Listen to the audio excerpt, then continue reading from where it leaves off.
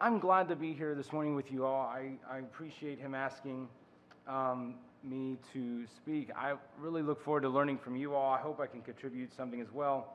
To kind of give you a little bit of my background and history, I wasn't. I grew up Southern Baptist. I've served in this. I grew up in a Southern Baptist church my whole life. I ended up going to Southern Baptist College. I pastored a Southern Baptist church, and I was there for a number of years for most of my life. And I had met an Anabaptist man that was just very nice. I, I run a small lawn care company, and I was looking to buy a mower, and he sold mowers. And I got to meet him, and I said, You might ask you a couple questions. So I asked a couple questions. And from there, it started my inquiry into Anabaptism and what that was. And over the next year, I, was, I would have considered myself an evangelical pastor investigating Anabaptism, just interested in the subject. After the end of that year, I would have considered myself an Anabaptist pastor, pastoring an evangelical church. Um, and that was fine for about a year. And then after that year, we chose to step out, and another pastor took on the church, and we chose to pursue Anabaptism. Um, since then, now we've joined with an Anabaptist church just north of us, and now we have the privilege of planting an Anabaptist church uh, where we're at, and I'm excited about that. Um, also, one thing that I've been doing the last year or so is I've become a little, become a little bit of an apologist for Anabaptist theology or Anabaptist and understanding of the faith. It's fascinating, and I, uh, I want to help other devout followers of Jesus understand what kingdom centric Christianity is all about. How does that flesh itself out in the life? And I want to be able to answer questions so when you have young or even older pastors or other devout Christians to say, hey, there's more to this Christian thing than maybe what I've been told. There's resources there. So I've been working on that as well. Um, so today I've been asked to discuss the Anabaptist distinctions of faith in regard, regards to salvation, discipleship, and gospel sharing. I, am not going to talk about the mechanics of salvation um, in my investigation of Anabaptist view of salvation. There are some different approaches. I'm not going to talk about the mechanics of salvation and what that is. I'm more talk about how being saved fleshes itself out in the life of a believer. I think that that matters a lot. When I talk to Anabaptists and evangelicals both, a lot of times what I end up get coming back to, what comes back to me is, well, tell them why they should, why, why we practice head covering. Okay? Practice, tell them why we should not, we should uh, hold to non-resistance or non-violence. Hold them, tell them why we should do this, why we should do that. And that stuff matters. But from the evangelical mindset, it's I can't get from evangelicalism to nonviolence. I can't get from evangelicalism to head covering. It's hard to make that jump from evangelicalism to, to that. And because what happens is we want to go to immediate application. We want to jump straight into and straight into, well, this is how Christianity looks like. And I think we need to talk about some broader concepts that makes Anabaptism what it is and why we come to the conclusions we do in regards to things like nonviolence, head covering, modest dress, distinction in lifestyles, and such. Um, and the answering the question of are these things really necessary? That, that's one of the questions that I get asked a lot is are these things that you're practicing, are they really necessary? Do we really have to make a big deal out of head covering? Do we really have to make a big deal out of nonviolence? Do we really have to make a big deal? Are they necessary? And I would be one to say that they are.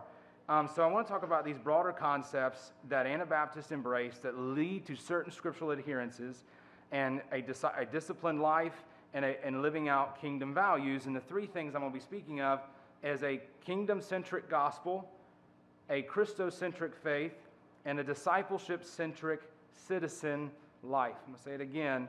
It's a kingdom centric gospel and a Christocentric faith and a discipleship centric citizen's life.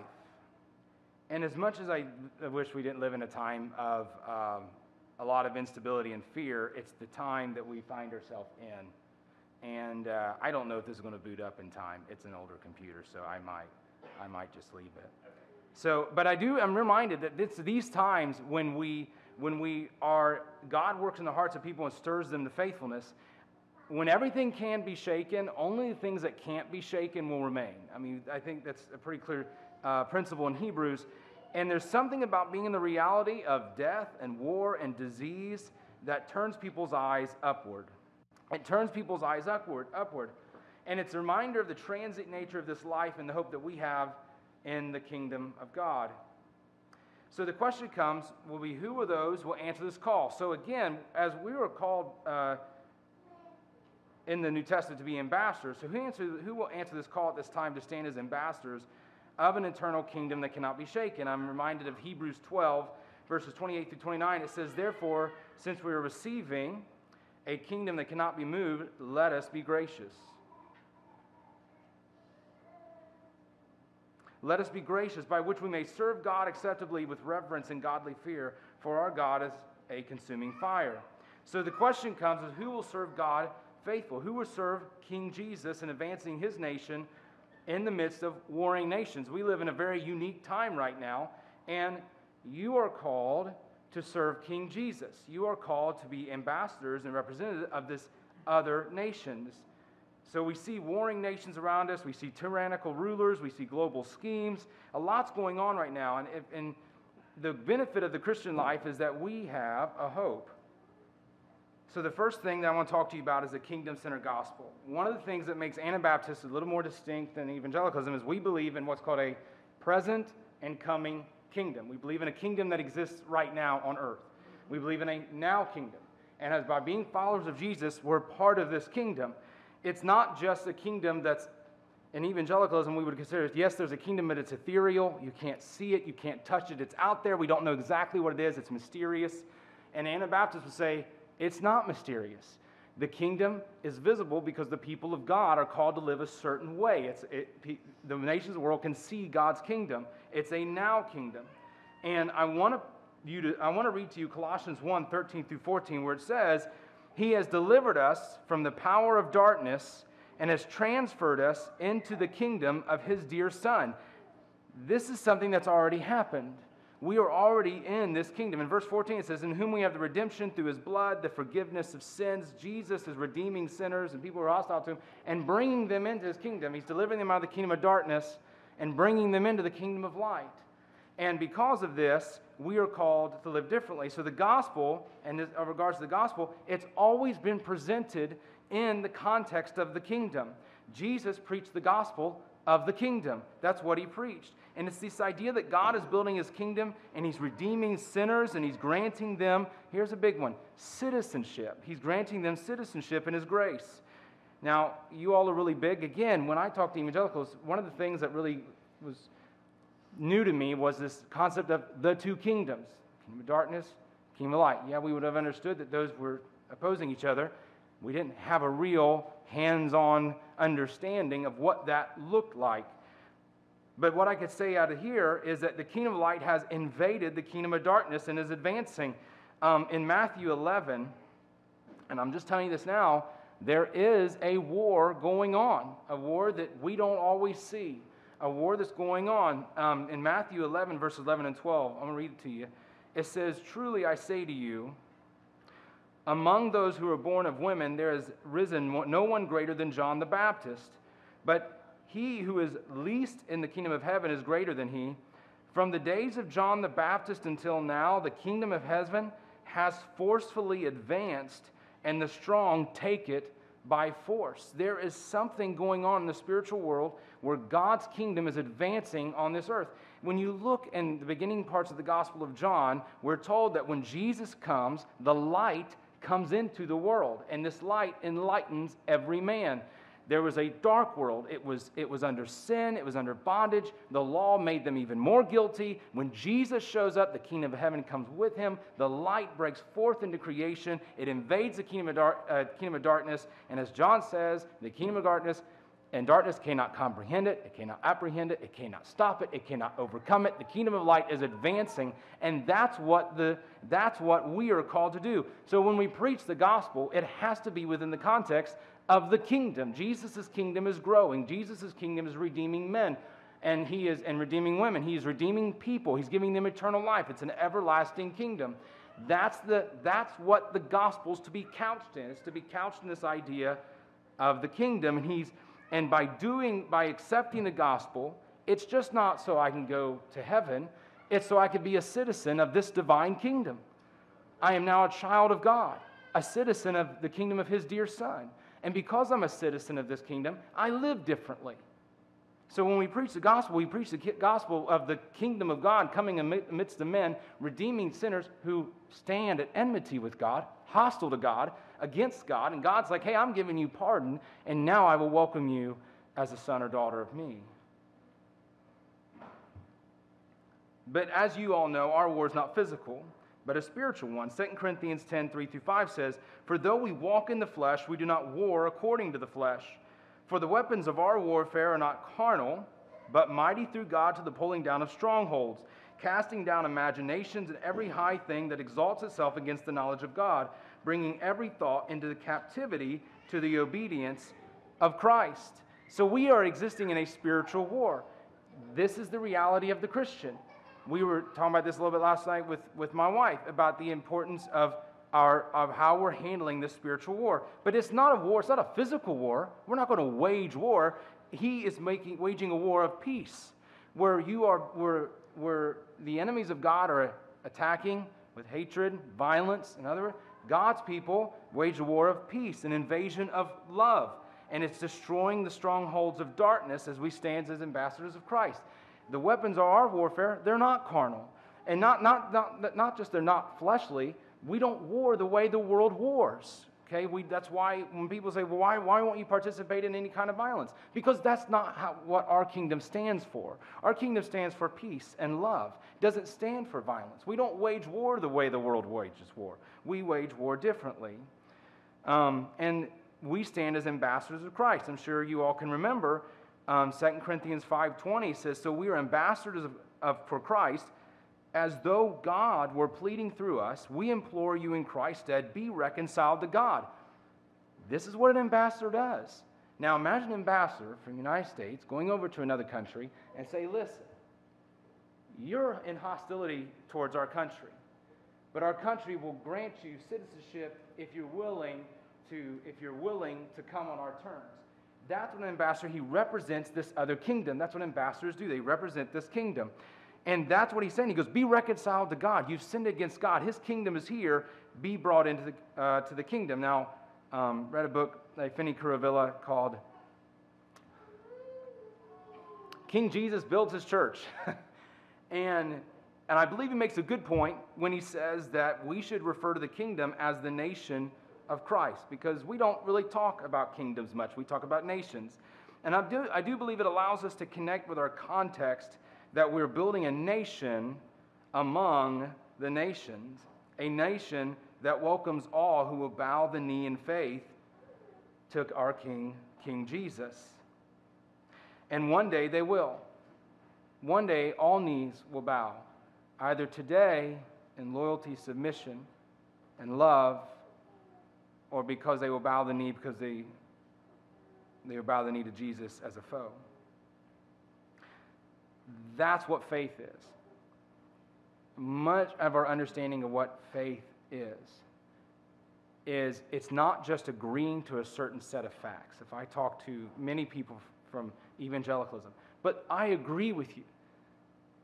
Faith is not just agreeing to a certain set of facts. I believe the Civil War happened. I believe that it happened the way most history books would tell it. I believe that the Civil War made some great accomplishments, or whatever you could say, inside the United States according to the agendas of, this, of the government. It doesn't change my life.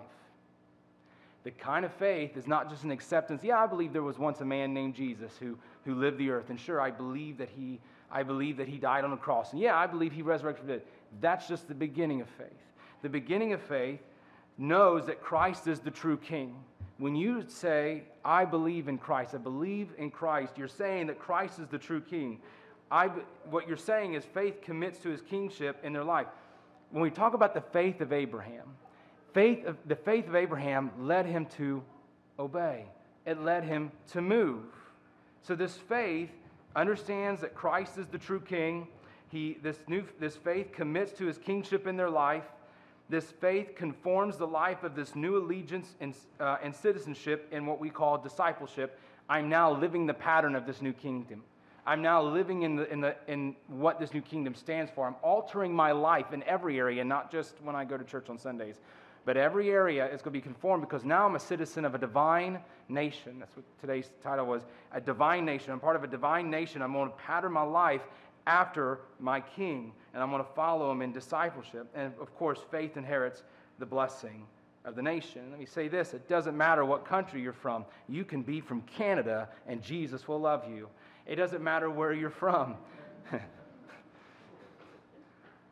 Jesus will love you. And you, if you will take bow the knee in faith to him and follow him and commit to following him, you could be a citizen of his kingdom, redeemed into his people, have an everlasting kingdom that not only will never fade, you will not fade in it.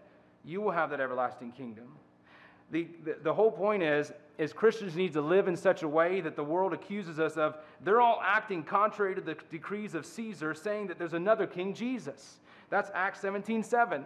When was the last time the Christians acted so contrary to the culture around them that they said, hey, they're trying to form another country here? They're saying there's another king. You better look out. That's what we're talking about. We need to live in such a way that we do stick out amongst the world around us. We don't live like the rest of the world because we're part of another kingdom. And this kingdom is not defined by borders, it's not defined by wall, uh, walls, it's defined by an allegiance to Jesus. So I can go halfway across the globe and find a follower of Christ who's committed to following Jesus, and I'm seeing my brother and sister, I'm seeing a fellow citizen, citizen of, this, of this nation that I'm in. It's a nation not defined by land, but defined by allegiance. Now, I believe in the, it, it is this context that's missing when we share the gospel. Now, Mark 1:15 says, "The time is fulfilled." This is Jesus speaking, and the kingdom of God is at hand. Repent and believe the gospel. Jesus was preaching that. That was the gospel that Jesus preached. Was the gospel of the kingdom, the gospel of, the, of this advancing nation. So we're a nation among the nations by Christ and fulfilled and filled by our allegiance to King Jesus.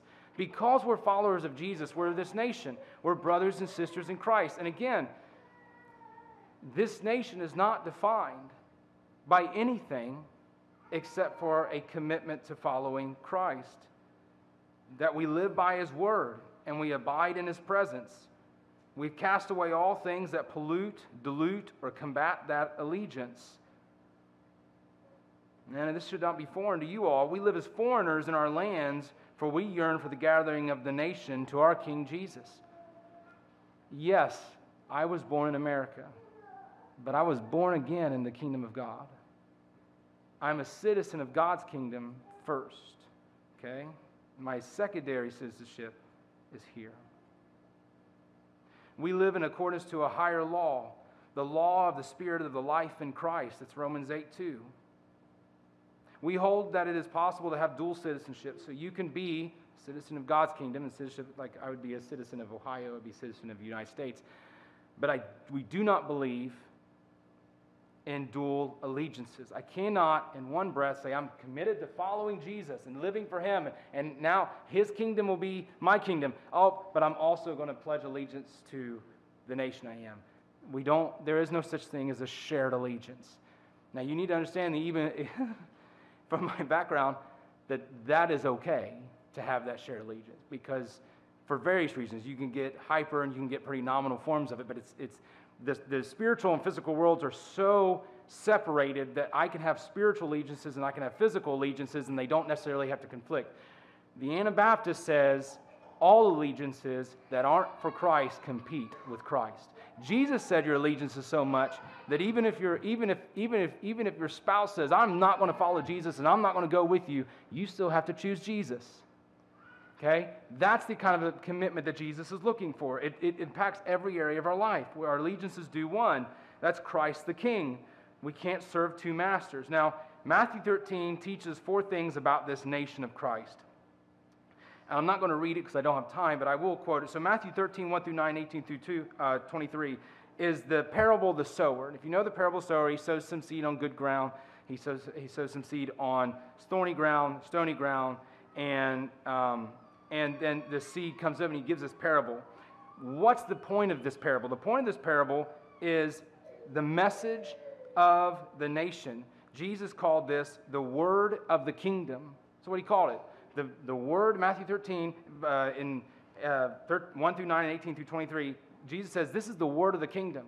And not everybody's going to accept it. You know, there's going to be good soil and bad soils. But the point he's making here is that there's a message of the kingdom. Christ reigns. He's conquered death and gives eternal life to all those who call on him in faith. Repent, believe, and call on the name Jesus as Savior and King. That's the message of the kingdom. That's not sufficient when, because of time this morning. But we have the word of the kingdom. We're spreading the message of the nation or message of the kingdom. That's the element, first element, Matthew 13, about the nation of Christ. Now, the second is citizenship in the nation. And this is Matthew 13, verse 24 through 30, and 36 through 43. And this is the parable of the wheat and the tares. And this parable, the first one was about the word of the kingdom, the message of the kingdom. The second one is about the sons of the kingdom, the children of the kingdom. Who are they? And the whole point of this parable is that Jesus is the one who sows the sons of the kingdom throughout the world. Okay, he throws, he's casting out wheat, and then the evil one sows tares. Now, from my background, we actually just had this conversation recently, would say, well, there's tares in the church. Brother, you're going to have tares in the church, tares in the church. This context of this parable is not the church, it's the world.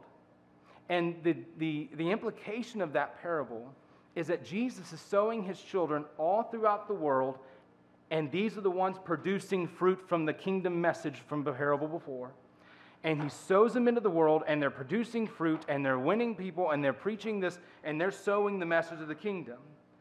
They're sowing the message of the kingdom. But the whole point is, is that these sons of the kingdom are everywhere. These sons of the kingdom are everywhere. We're citizens of a nation that's dispersed throughout the world, sowing the message of the kingdom as we produce fruit from the good seed sown into us.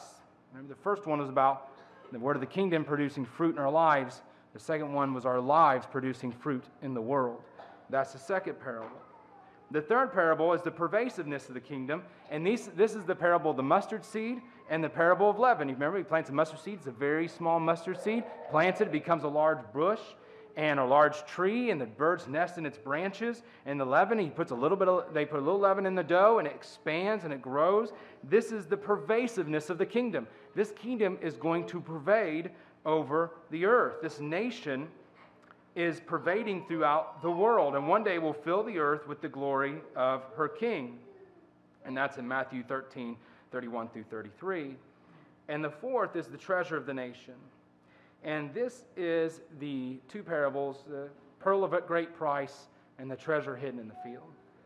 The pearl of great price, the merchant goes and he sells everything he has to buy this um, pearl of great price. The one finds treasure in a field sells everything he has, and then goes and buys the field. That's the mindset of someone who understands what this kingdom is. It's the treasure of the kingdom. And this kingdom is so valuable, so precious, it's worth walking away from everything. It's worth walking away from everything. When, when, I was, when my wife and I were in the middle of our, of our transition, we knew that we were walking away from everything that we ever knew. And every time I'd say, Well, Lord, isn't this good enough? Isn't it close enough? Why can't, why can't I just stay here? This is very comfortable. In fact, when I left, my hope was that the, um, that the people I talked to would talk me back into it because it would have been so much easier if I could just stayed there and been comfortable. And Jesus, he kept coming back to, Do you love me? Do you love me enough to follow me even in this? If this is right and you know it's right, why would you live in hypocrisy and, and not follow?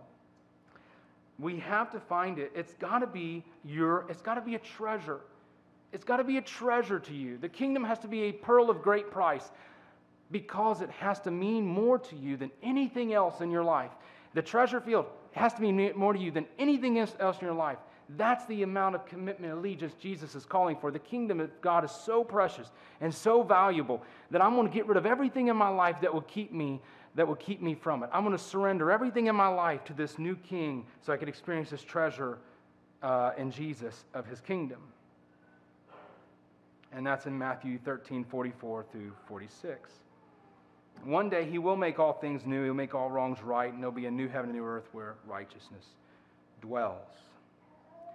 So the first one again was a kingdom centric gospel. When we preach the gospel, we must preach it with the context of the kingdom. And the way I taught was Christ, the way of the king. we need to be saying that a lot. When we are sharing the gospel, we need to very, make very important that Jesus is king. Jesus is king. His kingdom, if you want to use the word nation, we're a nation among the nations. But the fact is, is that the gospel needs to be preached in the context of the kingdom. So when you're saying, someone says, well, I want to be saved, say, well, say, well, great, you want to be saved? Well, God's building his kingdom, and by doing so, you'll have eternal life. You're also going to become a citizenship citizen of this kingdom. And by doing so, you're going to, you're going to fellowship with this, kingdom. You're going to adopt its values. You're going to, you're going to be discipled away of the king. The, he showed us how to live. We're going to live differently. The other, the next one is a Christ-centered faith. Um, Christ, the arbiter of truth. A Christ-centered faith. Christ, the arbiter of truth. Now, over the years, I have stood in the pulpit and I have declared over and over and over the need for a biblical church. And sometimes I pounded on my pulpit and my face turned red when I was doing it because that's what we did. And the need for a biblical church. We need a biblical church. We need a church that follows the Bible. Amen. Amen. We need a church that follows the Bible. That's what we need. You don't get me started. We're going to go down that road if you do that.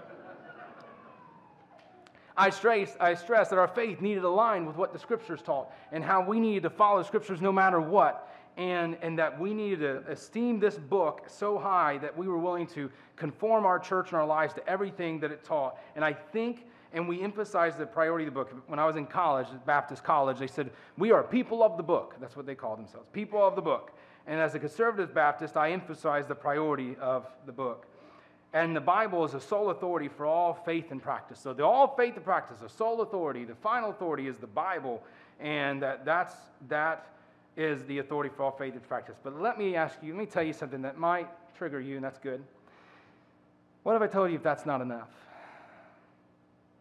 What if I told you that it's not enough to say, I want a biblical church and I just want to follow everything it teaches?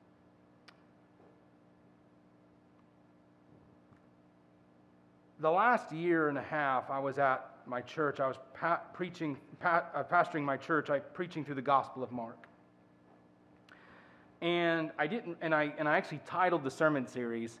Just so you know, after a year and a half, we only made it to Mark eight. So we were going nice and slow through the book of Mark. And I, I, I titled the series "Following the Footsteps of Jesus through the Gospel of Mark," and that was my intention. I didn't realize the impact that that during that time was going to make an impact on my life. Because it, it was, I think it was divinely ordained that I was meeting the people I met, I was preaching through the Gospel of Mark, and I had, and at the time at the church, we had already dealt with a level of corruption that had been in the church for a few decades. We had overcome that. We had done all the hard stuff. We had been through the storming stage. We, I think the next one was the normal. We were at the normal, normalizing stage, the norming stage. We were there, and we were almost getting into the performing stage we were, I mean, pastors like, John, you are, you've done it. You've made it through the hard. Now you've, now you've got a church that you're moving forward. And we were able to overcome the contention and move forward. And at that time, I felt, like I said, we need to start preaching the gospel. Mark, I didn't realize the change that God was working in my heart through that gospel. Now, there are many evangelicals that would say that there's no meaningful difference between Anabaptism and evangelicalism. That is the one thing that I face all the time. There's no meaningful difference. Oh, we agree. Oh, we think we agree with you. Or there's or this is all secondary issues. I hear that a lot. These are all secondary issues. They're not secondary. There are meaningful differences between conservative mainstream evangelicalism and Anabaptism. And one of the distinctions that makes Anabaptism what it is is that we believe that Jesus is the arbiter of truth in that we believe that all claims and disputes of truth are settled in Christ. All claims and disputes of truth are settled in Christ. That's one reason why, when I talk to my evangelical counterparts and they're signing their children to go up into the military and they go to the Old Testament and they say, See, they fought wars. Yeah, but Jesus said we are to be known for our love for enemies, not for our willingness to war. And because Jesus is the arbiter of truth, he he supersedes what we think the Old Testament is allowing the Christian to do. And thus we don't participate in that.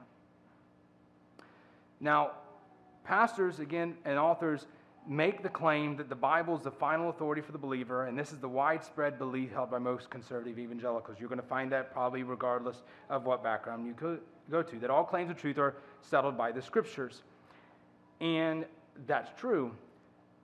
In fact, the problem is, is we have hundreds of denominations. Hundreds, um, I don't know if we're up to the thousand yet, hundreds of denominations that would say that and that would say claim the Bible as their final authority. That's what they would say. What does the Bible teach about itself? Well, the Bible teaches that it is the special, inspired revelation of God to which we should, ch- we should cherish, read, um, and study and memorize it. Paul says in 2, uh, 2 Timothy 3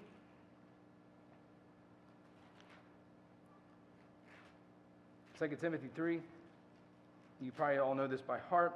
It says, All scripture is inspired by God and is profitable for teaching, for reproof, for correction, and instruction in righteousness, that the man of God may be complete, thoroughly equipped for every good work. The scriptures are sufficient for the disciple of Jesus. They are sufficient.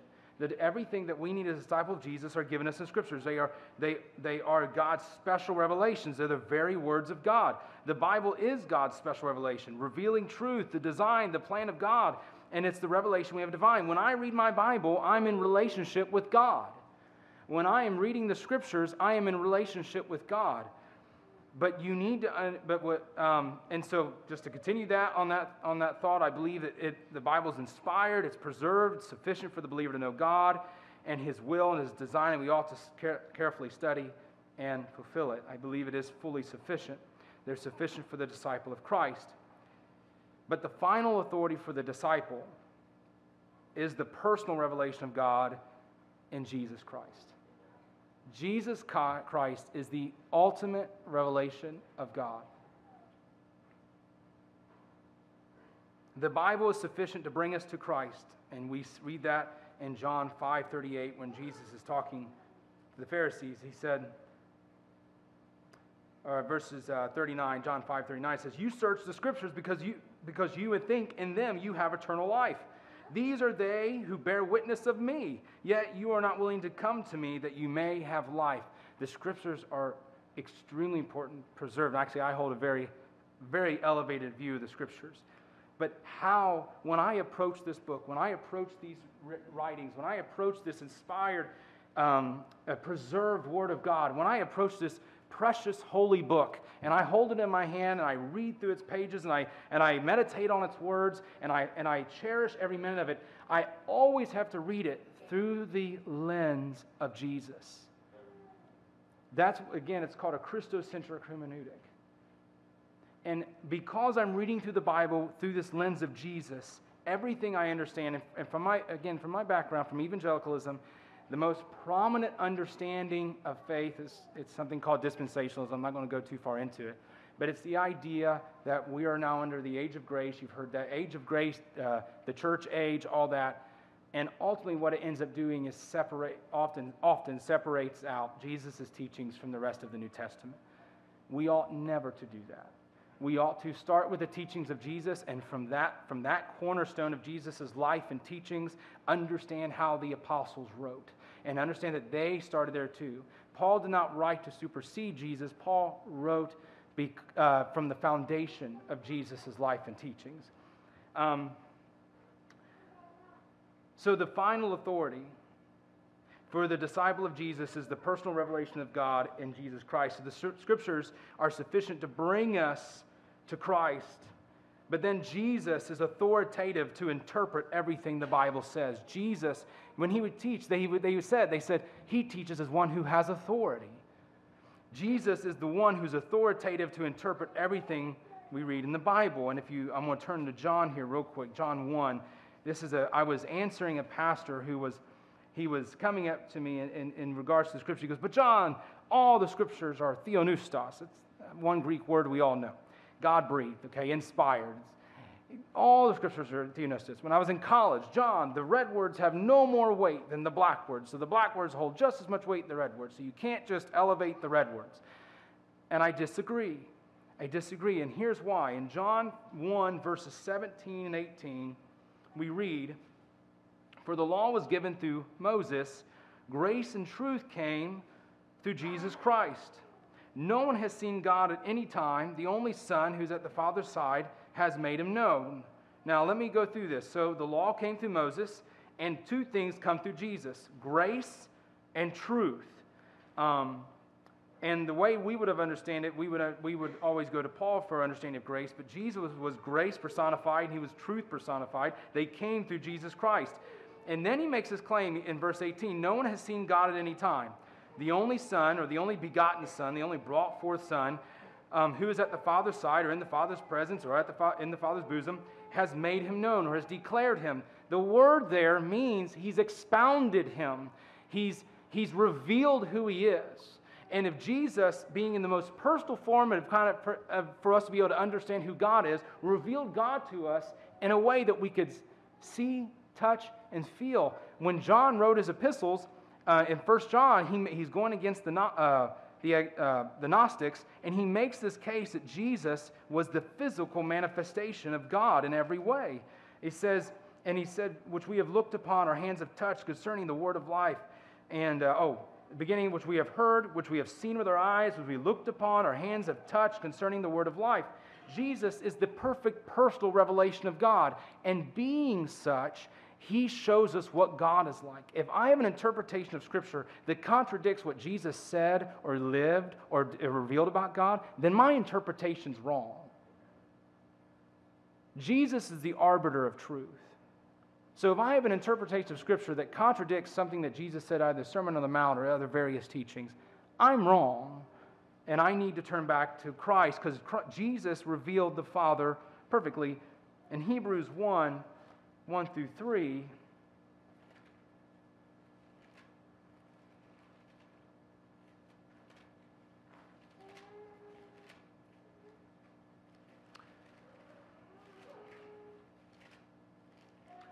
it says, God, who at various times and in diverse ways spoke long ago to the fathers through the prophets, has in these last days spoken to us by his Son,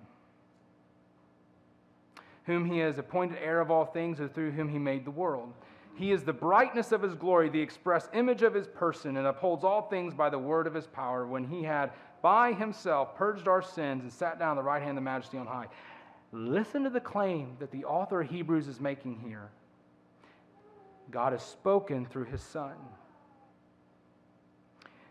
He's heir of all things, and, he made, and through whom he made the world. He is the brightness of his glory. That's what glory is. And in glory, and so everything that God has revealed about himself comes in the face of Jesus Christ. It's Second Corinthians 4. And just because I'm here, I want to I want to read it because he makes a really great case for this.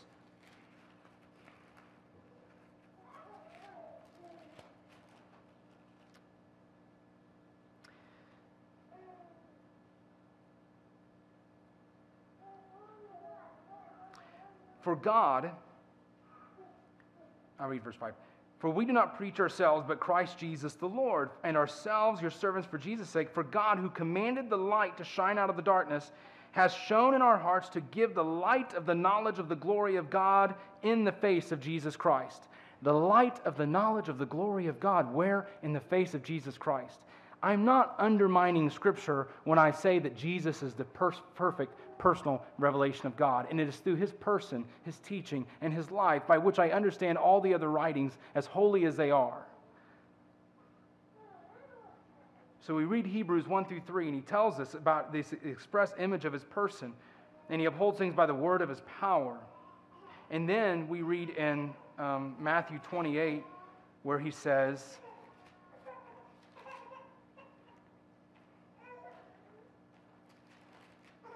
in Matthew 28, 18, you all recognize this. And Jesus spoke to them, saying, all authority has been given to me in heaven and on earth. So when an evangelicals say, our final authority is the Bible, our final authority is Jesus. And by that, I understand the authority of the Bible. The Bible has authority in my life be- because of Jesus. Jesus, by promoting a Christocentric hermeneutic, I'm not undermining Scripture, I'm actually understanding Scripture to its fullest extent in the personal revelation of God found in Jesus. And John seems to be making the case in his gospel that Jesus keeps saying, Hey, I'm saying the things that my Father told me. I'm doing the things that my Father does. I'm what you see me doing, the Father's doing. And he's making this picture, not, that, not just that he is God, but that he is the perfect revelation of the Father over and over and over. Uh, in John 5 19, 5 27, 7 17 through 18, 7 28, 8 42, 12 49, 14 10, 17 2, and it can go on. Jesus keeps saying, When you look at me, you see the Father. What the Father's doing, I'm doing. What the Father says, I say. And that's very important because if I want to get to know the Father, I need to listen to Jesus. And when I want to hold the, the book that God, that God inspired, I must understand it through the person of Jesus. So through the scriptures, we come to Christ, but through the life and teachings of Christ, the scriptures are illuminated or illumined. And I love Hebrews where it says, if, uh, it talks about scripture being a two edged sword. If the scriptures are a two edged sword, dividing soul and spirit, then Jesus is the one who wields that sword. Now I'm going to read to you Hebrews 4 12 and 13. It says, For the word of God is alive and active and sharper than any two edged sword, pierces even the division of soul and spirit, of joints and marrow and able to judge the thoughts and intents of the heart. There is no creature that is not revealed in his sight, for all things are bare and exposed to the eyes of him whom we must give account. The Word of God is alive and active, and it's alive and active because it's illumined by the Word of God, the Logos of God, as revealed in Jesus.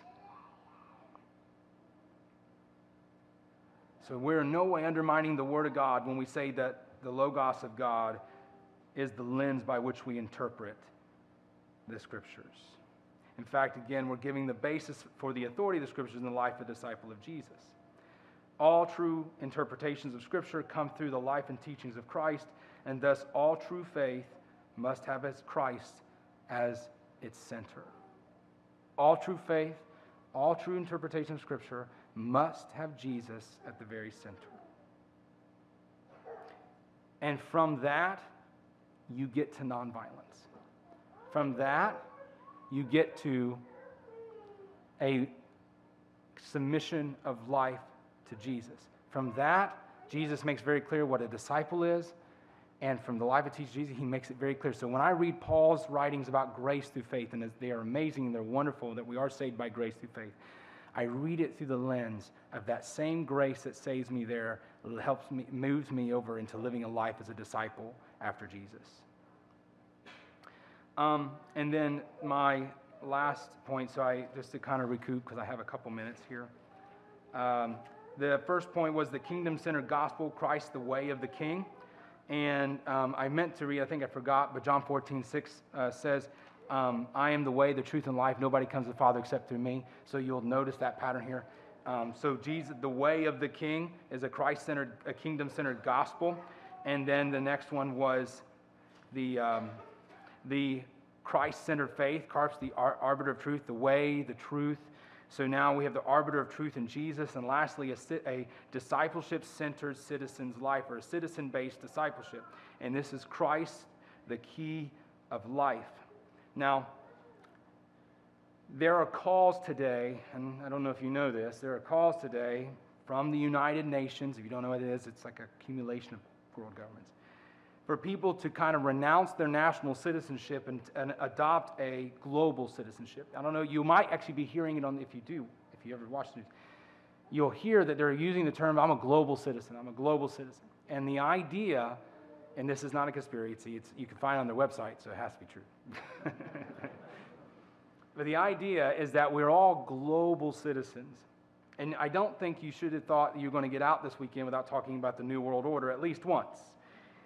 But here's what it says it says global citizenship, and this is from the United Nations, is the umbrella term for social, political, environmental, and economic actions of globally minded individuals and communities on a worldwide scale. The term can refer to the belief that individuals are members of, mul- of multiple diverse local and non local networks rather than a single actors affecting isolated uh, societies. Basically, what they're saying is no more national sovereignty. There's no such thing as nation states anymore. Promoting global citizenship and sustainable development will allow individuals to embrace their social responsibility to act for the benefit of all societies, not just their own. Now, you should be recognizing some of this because you all probably have at least heard the winds of America First politics. That's where a lot of this stuff is coming from. So the concept of global citizenship is embedded in Sustainable Development Goals through SDG 4, ensuring inclusive and quality education for all, and promoting lifelong learning, which includes global citizenship as one of its targets. By 2030, so within seven or eight years, the international community has agreed to ensure that all learners acquire the knowledge and skills needed to promote sustainable development, including global citizenship. Universities have a responsibility to promote global citizenship by teaching their students that they are members of a large global community and cause their skills and education to contribute to that community. So, that is one of the biggest pictures that you're seeing in, the, in our political world. And there's a lot to be said about this, and I'm not here to talk about it. I'm here, but I'm using it of how this intersects with Christ's kingdom. Because Jesus' nation is a global nation, but it's not the United Nations. Now, how Christians have responded to this, and this kind of gives you maybe some basis from, from evangelicalism, is some Christians, many Christians, have reacted to this G, uh, agenda with calls for national sovereignty. National sovereignty. So basically, we need to cut ourselves off from the rest of the world. And even for Christian nationalism, which basically is the idea that this is God's country and it's a Christian nation. And we're going to stay away from the New World Order. But for kingdom minded or nation minded or kingdom minded Christians, you understand that your citizenship is in Christ's nation. Your allegiance is not tied to a certain land, border, wall. It's tied to a person, to Jesus. Christ's nation doesn't promote a secular kingdom. God's nation is a divine nation with its own sets of culture, its own values, and it will be in conflict. God's kingdom is in conflict with national sovereignty. God's kingdom will be in conflict with global sovereignty within the next 10 years, there's going to be a lot of wrestling with this. Let me encourage you to cling on to Jesus and maybe release some of those strings that you're starting to tie with national politics. Let them go. Jesus is building his own nation, not America. So when I talk about some differences between evangelicalism and Anabaptism, Jesus' kingdom is as real to me as any kingdom. In fact, more real. Okay? His teachings and words held just as more weight in my life than the Constitu- Constitution and Bill of Rights that they hold to. Now, I will respect them because we live in America. I, Romans 13 clearly teaches I should respect governing authorities and that they're there for a reason but my allegiance is to Jesus and his kingdom. And when, and when and if this global citizenship actually comes into fruition, comes into reality, there will be conflict between earthly and heavenly allegiances. There has always been conflict between earthly and heavenly allegiances. But if you look at Jesus and his life, his teachings, he keeps saying, let go of the earthly allegiances, cling on to the heavenly allegiance. Set your mind, set your affections on things above where Christ is. That's the whole point. Is we believe in a right now kingdom. It's not just a kingdom that's going to come in the future. Yes, it will come to full it come in full glory in the future. But I believe that I'm in a kingdom right now. And that kingdom is the kingdom of Christ. Now, I'm going to go into Romans 10, 9 through 10, real quick, because Paul calls on the Romans to not revoke the Roman citizenship. If you read through the book of Acts, you know that Paul used his Roman citizenship and he ended up appealing to Caesar and he ends up going, um, end up going to Rome. Um, he, so he doesn't ask them to revoke their Roman citizenship, but he does ask the Christians to revoke their allegiance to Caesar. Where do you see this? Well, Romans 10, 9 and 10 um, Paul says, But what does it say? The word is near you in your mouth and in your heart. This is the word of faith that we preach. Okay? This is the word of faith. So we're saved by grace through faith. This is that word of faith. What is it? that if you confess with your mouth Jesus is Lord and believe in your heart that God has raised him from the dead, you will be saved. For with the heart one believes unto righteousness, and with the mouth confession is made unto salvation. What's he saying here? Well, in the context of what Paul's saying here, the Romans were supposed to say, Caesar is Lord. And Paul is saying, Jesus is Lord. Now, listen, there was, Paul never revoked his citizenship. He never said, okay, I, am revoking my Roman citizenship. He never said that, but he's not asking us to do that. What he is saying is you have to revoke your allegiance to a physical nation to adopt God's divine nation. My allegiance is now to Jesus. Remember that saying back in Acts 17 where they said they're, they're acting contrary to the decrees of Caesar, saying that there's another king, Jesus. There's another king, Jesus. Uh, don't you think that's threatening? That's what Paul's getting at. We have to say, Jesus is Lord. And that's where our allegiance lies. And it says, so this, if you confess with your mouth, Jesus is Lord, and not Caesar is Lord, but Jesus is Lord, and that you believe that God raised him from the dead. So there is belief and faith, but it's also a committed. So when we talk about faith, we, we talk about a committed faith because biblical faith is a committed faith. Um, and so one believes in the righteousness with the mouth confession made to salvation. So we must confess our mouth, with our mouths our allegiance to our heavenly citizenship above that of national or international citizenship. And then Philippians 3 20 through 21 says, But our citizenship is in heaven, from where also we await our Savior, the Lord Jesus Christ, who will transform our body of humiliation so that it may conform to his glorious body according to the working of his power, even to subdue all things to himself. See the contrast here? Our citizenship is in heaven with Christ. That's a real citizenship. And we live out that citizenship. So when we talk about discipleship, why do you, why, why do you practice head covering? Why do you practice modest dress? Why are you living by these scriptural distinctions that most, most of the church has given up on? Because we're part of a different kingdom. Now, I'm going to say this that doesn't mean I make up new rules. I think scripture is sufficient to tell me what that looks like but we are to be faithful to live out that design.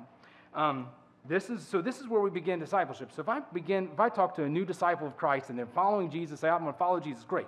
You're now a citizen of his country. And, and you're a citizen of his nation. And by such, by such, we, you, um, we follow the constitution of the Gospels. You say, well, where's the constitution of, of the Gospels? Discipleship must come from a place of citizenship in God's nation.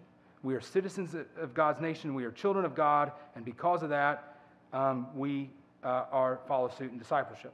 So, discipleship is learning to live as a citizen of a divine nation, a heavenly nation on earth, as God's servants, both human and angelic, serve His universal, divine plan. And this means that discipleship is not alone, but universal as citizens of Christ's nation. Now, I'm not talking about ecumenicalism. I'm not, not, I'm not talking about that because not all religions are one, but there's only one that should our allegiance be committed to.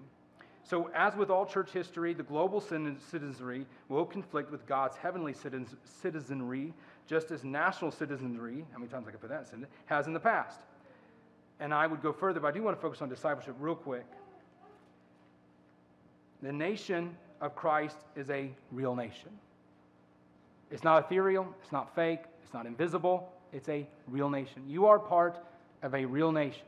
If you are a follower of Christ, you are a citizen within his nation. It's a real nation.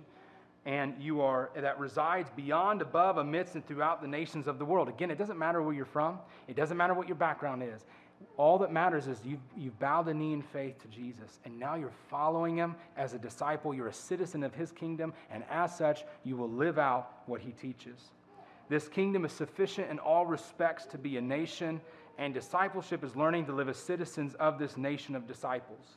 We pattern our lives after that of Christ our King. Christ is our King, so we pattern our lives after him. We adopt the values and truths granted us in its constitution found in the Gospels. Jesus revealed it there. We adhere to the truth, design, and ordinances laid out in the New Testament the church, when we talk about these New Testament teachings that, that most of the modern church has tossed aside, that these are distinguishing mark of Christ's nation amongst the nations. So when we talk about head covering, modest dress, non resistant lifestyles, things like that, those are markers of being a citizen of Christ's kingdom. And we should live those out. So the New Testament doesn't just give us doctrine to be believed, but a design to be lived. And as an Anabaptist, one of the things that really convinced me was God's design is good, and we should rejoice in God's design, not suppress it, make excuses for it, or reject it. If God's design is good, then I should follow it and live it and rejoice in it. So we align our lives to the larger purpose of this nation and her King Jesus. We abide in him and bear fruit from his sufficiency, and we live in abundant intimacy with our King as individuals and abound in the nation of the saints. And from this program, our lives are transformed into a heavenly citizenry beyond what the world can grasp as we eagerly await the blessed hope in the appearing of the glory of our great God and Savior, Jesus Christ. Let me read to you two more passages and then I will be done. Verse uh, Ephesians 2 19 through 22 says, Now therefore, you're no longer strangers and foreigners, but are fellow citizens with the saints and members of the household of God. You hear what he said? You are fellow citizens with the saints and members of the household of God, having been built upon the foundation of the apostles and prophets Jesus Christ himself being the chief cornerstone, in whom the entire building, tightly framed together, grows into a holy temple in the Lord, in whom you also are being built together into a dwelling place of God through the Spirit. And then Titus 2 11 through 14 says, For the grace that brings salvation has appeared to all men, teaching us that, denying ungodliness and worldly desires, we should live soberly, righteously, and in godliness in this present world, as we await the blessed hope and the appearing of the glory of our great God and Savior, Jesus Christ, who gave himself for us that he might redeem us from all lawlessness and purify for himself a special people or peculiar people, zealous of good works. So, just to reiterate, it's a kingdom centered gospel, Christ, the way of the king. The gospels always be preached within the context of the kingdom or the nation of Christ. Number two, a Christ centered faith, Christ the arbiter of truth. All true interpretations of Scripture have Christ as their center and as their true hermeneutic. And then a citizen based discipleship or a discipleship based citizenry, Christ the key of life. We are called to be citizens of his kingdom, of his nation, and as such, we don't look right to the world.